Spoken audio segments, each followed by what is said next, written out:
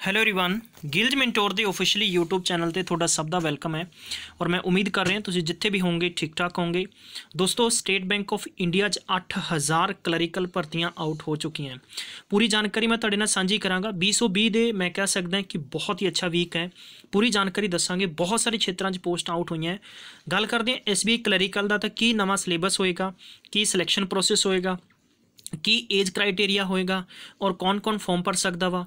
Farm ਭਰਨ ਦੀ ਜੋ starting date ਹੈ ਉਹ 3 ਜਨਵਰੀ ਤੋਂ ਸ਼ੁਰੂ ਹੋ ਜਾਏਗੀ, ਯਾਨੀ ਕੱਲ ਤੋਂ ਤੁਸੀਂ ਫਾਰਮ ਭਰ ਸਕੋਗੇ ਅਤੇ ਇਹਦੀ ਅਖੀਰਲੀ ਮਿਤੀ 26 ਜਨਵਰੀ ਹੋਏਗੀ।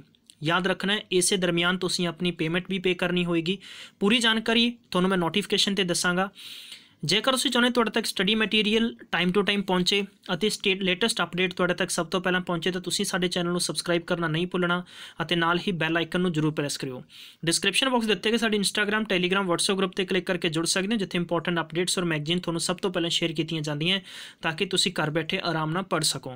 ਮੈਂ ਤੁਹਾਨੂੰ ਲੈ ਕੇ ਚੱਲਦਾ ਆਫੀਸ਼ੀਅਲੀ ਨੋਟੀਫਿਕੇਸ਼ਨ ਤੇ, ਉੱਥੇ ਵੇਖਦੇ ਹਾਂ ਵਧੇਰੀ ਜਾਣਕਾਰੀ ਕੀ ਹੈ।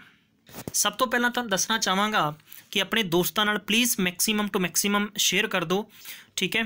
ਆਨਲਾਈਨ ਜੋ ਫਾਰਮ ਭਰਨਾ ਵਾ ਆਨਲਾਈਨ ਫਾਰਮ ਭਰਨ ਦੀ ਜੋ ਪ੍ਰੋਸੈਸ ਹੈ 3 ਜਨਵਰੀ ਤੋਂ ਸ਼ੁਰੂ ਹੋ ਜਾਣੀ ਹੈ 26 ਜਨਵਰੀ ਅਖੀਰਲੀ ਮਿਤੀ ਹੋਏਗੀ। ਕੁੱਲ ਮਿਲਾ ਕੇ ਵੱਖਰੋ ਵੱਖਰੀ ਖੇਤਰ ਦੇ ਵਿੱਚ ਪੋਸਟਾਂ ਆਊਟ ਕੀਤੀਆਂ ਨੇ। ਦੱਸ ਦੇਣਾ ਚਾਹਣਾ ਹੈ ਕਿ ਸਰਕਲ ਇਹਨਾਂ ਦੇ ਨੇ, ਫਿਰ ਸਟੇਟ ਹੈ ਲੈਂਗੁਏਜ ਹੈ। ਇੱਥੇ ਕੈਟਾਗਰੀ ਵਾਈਜ਼ ਪੋਸਟਾਂ ਨੇ PWD ex serviceman SC ST and backlog vacancies ਵੀ ਇੱਥੇ ਦਿੱਤੀਆਂ ਗਈਆਂ। ਜਿੱਥੋਂ ਤੱਕ ਗੱਲ ਕਰਦੇ ਹਾਂ ਕਿ ਖਾਸ ਤੌਰ ਤੇ ਸਟੂਡੈਂਟਸ ਨੀਅਰ ਅਬਾਊਟ ਚੰਡੀਗੜ੍ਹ ਹੈ। ਚੰਡੀਗੜ੍ਹ ਸਰਕਲ ਦੇ ਵਿੱਚ ਜੰਮੂ ਕਸ਼ਮੀਰ ਲਦਾਖ, ਹਿਮਾਚਲ ਪ੍ਰਦੇਸ਼, ਚੰਡੀਗੜ੍ਹ, ਪੰਜਾਬ ਆ ਜਾਂਦਾ ਹੈ। ਠੀਕ ਹੈ, ਕਾਫੀ ਹੱਦ ਤੱਕ ਪੋਸਟਾਂ ਇੱਥੇ ਆਊਟ ਕੀਤੀਆਂ ਗਈਆਂ ਨੇ। ਤਾਂ ਤੁਸੀਂ ਇੱਥੇ ਆਪਣੇ ਫਾਰਮ ਭਰ ਸਕਦੇ ਹੋ। ਓਵਰਆਲ ਜਿੱਥੋਂ ਤੱਕ ਗੱਲ ਕਰਦੇ ਹਾਂ ਕਿ 8000 ਟੋਟਲ ਪੋਸਟਾਂ ਨੇ, ਠੀਕ ਹੈ 8000 ਕੈਂਡੀਡੇਟ ਇੱਥੇ ਅਪਲਾਈ ਕਰ ਸਕਦੇ ਨੇ। ਜਿੱਥੋਂ ਤੱਕ ਗੱਲ ਆਉਂਦੀ ਹੈ ਕਿ ਕੈਟਾਗਰੀ ਵਾਈਜ਼ ਕੌਣ-ਕੌਣ ਅਪਲਾਈ ਕਰ ਸਕਦਾ, ਤਾਂ ਸਾਰੇ ਕੈਟਾਗਰੀਜ਼ ਨੇ। ਜਨਰਲ ਹੈ ਈਡਬਲਯੂਐਸ ਹੈ ਐਸਸੀ ਐਸਟੀ ਹੈ ਓਬੀਸੀ ਕੈਂਡੀਡੇਟ ਹੈ ਪੀਡਬਲਯੂਡੀ ਕੈਂਡੀਡੇਟ ਹੈ, ਜਾਂ ਇਸ ਤੋਂ ਇਲਾਵਾ ਐਕਸ ਸਰਵਿਸਮੈਨ ਵੀ ਇੱਥੇ ਅਪਲਾਈ ਕਰ ਸਕਦੇ ਨੇ। ਮੈਂ ਤੁਹਾਨੂੰ ਹੁਣ ਇਹਦੀਆਂ ਹਦਾਇਤਾਂ ਕੀ ਕੁਝ ਨਵੀਆਂ ਚੇਂਜ ਨੇ ਉਹਦੇ ਬਾਰੇ ਮੈਂ ਤੁਹਾਨੂੰ ਜ਼ਰੂਰ ਇੱਥੇ ਦੱਸਾਂਗਾ। ਬਟ ਤੁਸੀਂ ਪਲੀਜ਼ ਸ਼ੇਅਰ ਕਰਦੇ ਚਲੋ ਤੁਹਾਡੇ ਫਰੈਂਡਸ ਨਾਲ ਤਾਂ ਕਿ ਟਾਈਮ ਟੂ ਟਾਈਮ ਸਭ ਤੱਕ ਇਹ ਪ੍ਰੋਪਰਲੀ ਇਨਫੋਰਮੇਸ਼ਨ ਪਹੁੰਚ ਜਾਣੀ ਚਾਹੀਦੀ ਹੈ। ਸਭ ਤੋਂ ਪਹਿਲਾਂ ਚੈੱਕ ਕਰਦੇ ਹਾਂ ਏਜ ਕ੍ਰਾਈਟੇਰੀਆ ਯਾਨੀ 2020 ਦੇ ਵਿੱਚ ਕੁਝ ਨਵਾਂ ਕੀ ਚੇਂਜਸ ਹੋਇਆ ਦੋਸਤੋ 20 ਸਾਲ ਤੋਂ ਲੈ ਕੇ 28 ਸਾਲ ਤੱਕ ਫਾਰਮ ਭਰ ਸਕਦੇ ਹੋ। ਅਤੇ ਇਹਦੇ ਚ 5 ਸਾਲ ਦੀ ਛੂਟ ਐਸਸੀ ਐਸਟੀ ਨੂੰ ਮਿਲੇਗੀ ਓਬੀਸੀ ਨੂੰ 3 ਸਾਲ ਹੈ ਪੀਡਬਲਯੂਡੀ ਜਨਰਲ ਔਰ ਈਡਬਲਯੂਐਸ ਨੂੰ 10 ਸਾਲ ਹੈ ਪੀਡਬਲਯੂਡੀ ਐਸਸੀ ਐਸਟੀ ਨੂੰ 15 ਸਾਲ ਦੀ ਛੂਟ ਔਰ ਪੀਡਬਲਯੂਡੀ ਓਬੀਸੀ ਨੂੰ 13 ਸਾਲ ਦੀ ਛੂਟ ਮਿਲੇਗੀ। ਇਸ ਤੋਂ ਇਲਾਵਾ ਕੀ ਕੁਝ ਚੇਂਜਸ ਨੇ?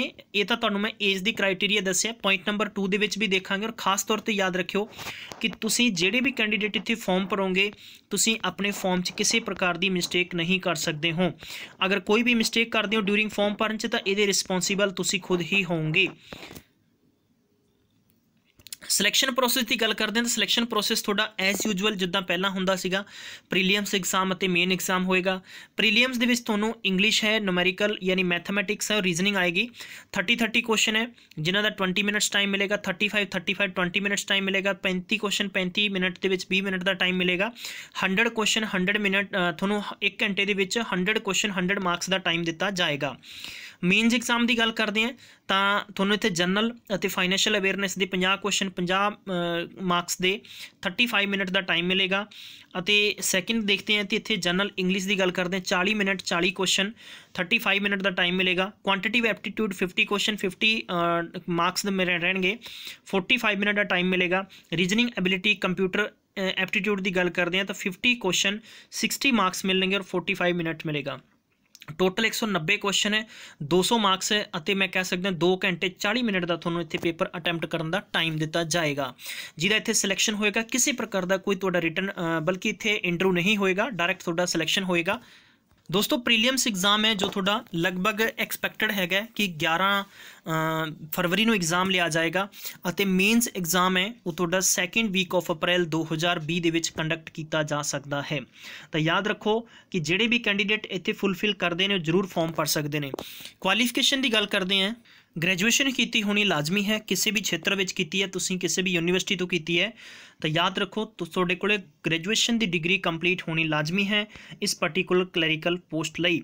ਤਾਂ ਸਭ ਤੋਂ ਇੰਪੋਰਟੈਂਟ ਡੇਟ ਇਹੀ ਸੀਗੀ ਕਿ ਸਭ ਤੋਂ ਇੰਪੋਰਟੈਂਟ ਅਪਡੇਟ ਵੀ ਇਹੀ ਸੀਗੀ ਕਿ ਤੁਸੀਂ ਕਲੈਰੀਕਲ ਦੇ ਸੰਬੰਧ 'ਚ 8000 ਸਟੇਟ ਬੈਂਕ ਆਫ ਇੰਡੀਆ 'ਚ ਫਾਰਮ ਭਰ ਸਕਦੇ ਹੋ। 3 ਜਨਵਰੀ ਤੋਂ ਲੈ ਕੇ 26 ਜਨਵਰੀ ਦੇ ਵਿਖੇ ਤੁਸੀਂ ਆਪਣਾ ਫਾਰਮ ਭਰ ਸਕਦੇ ਹੋ। ਗ੍ਰੈਜੂਏਸ਼ਨ ਤੁਹਾਡੇ ਕੋਲੇ ਕੀਤੀ ਹੋਣੀ ਚਾਹੀਦੀ ਹੈ। ਇਸ ਤੋਂ ਇਲਾਵਾ ਵੀ ਮੈਂ ਦੱਸ ਦੇਣਾ ਚਾਹੁੰਦਾ ਕਿ ਇਸ ਪਾਰਟਿਕੂਲਰ ਪੋਸਟ ਦੇ ਲਈ ਪ੍ਰੀਲੀਅਮਸ ਅਤੇ ਮੇਨਸ ਪੇਪਰ ਹੋਏਗਾ। ਪ੍ਰੀਲੀਅਮਸ ਔਰ ਮੇਨਸ ਦਾ ਮੈਂ ਤੁਹਾਨੂੰ ਦੋਨੋਂ, ਤੁਹਾਨੂੰ ਪੇਪਰ ਸਿਲੈਕਸ਼ਨ ਪਲੱਸ ਇਹਦਾ ਪ੍ਰੋਪਰਲੀ ਤੁਹਾਨੂੰ ਸਿਲੇਬਸ ਵੀ ਮੈਂਸ਼ਨ ਕਰਤਾ ਆ। ਔਰ ਤੁਹਾਨੂੰ ਇੱਥੋਂ ਤੱਕ ਵੀ ਦੱਸ ਦਿੱਤਾ ਗਿਆ ਹੈ ਕਿ ਪ੍ਰੀਲੀਅਮਸ ਐਗਜ਼ਾਮ ਕਦੋਂ ਕੰਡਕਟ ਹੋਏਗਾ ਅਤੇ ਮੇਨਸ ਪੇਪਰ ਕਦੋਂ ਕੰਡਕਟ ਹੋਏਗਾ। ਇੰਟਰਵਿਊ ਨਹੀਂ ਹੋਏਗਾ, ਜਿਸ ਦਾ ਪ੍ਰੀਲੀਅਮਸ ਅਤੇ ਮੇਨਸ ਕੁਆਲੀਫਾਈ ਹੋਏਗਾ ਮੈਰਿਟ ਬਣੇਗੀ ਮੈਰਿਟ ਦੇ ਵਿੱਚ ਅਗਰ ਆਏਗਾ, ਤਾਂ ਡੈਫੀਨਿਟਲੀ ਉਹਨਾਂ ਹੀ ਕੈਂਡੀਡੇਟ ਦਾ ਅੱਗੇ ਸਿਲੈਕਸ਼ਨ ਹੋਏਗਾ। ਆਈ ਹੋਪ ਪੂਰੀ ਜਾਣਕਾਰੀ ਤੁਹਾਨੂੰ ਸਮਝ ਆ ਗਈ ਹੋਗੀ।